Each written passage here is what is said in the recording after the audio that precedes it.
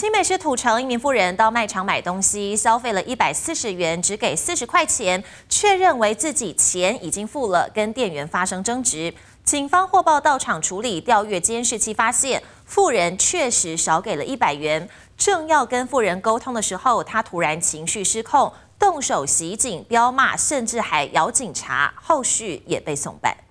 警察来了，女子还不断碎碎念，甚至出现这个举动。刀干嘛？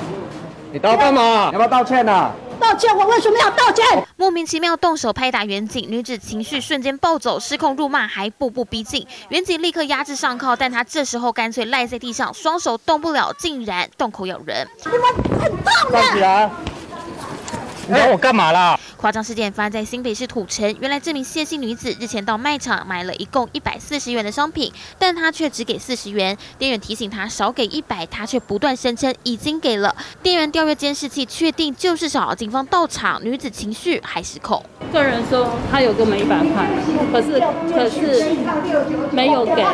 攻击远警爆粗口辱骂不说，甚至还咬了远警手背，被以妨害公务罪送办。案件经过审理，新北地院依侮辱公务员及妨害公务执行罪，判处谢姓女子拘役二十五天，得一颗罚金两万五千元，缓刑两年，仍可上诉。